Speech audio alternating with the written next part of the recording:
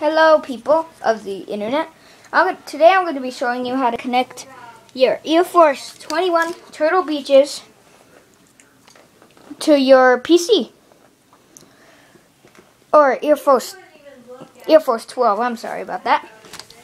What you're going to do is they're going to come with these. These are very simple to use.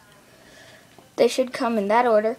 And first what you're going to use is this you're going to plug that into a USB port in the front of your computer or the back of it. The front of your computer is more handy if you use it for the Xbox and the PC. So you don't have to get back there and take it out again. So you put it in a USB port. So the second thing you're going to need is your earphone piece. There should be it there should be a hole in the front and it should have a green ring around it and you'll plug it into there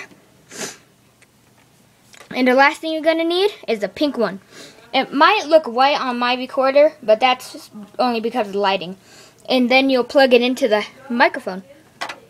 You'll plug it into the microphone slot, and it should have a red, a reddish circle around it.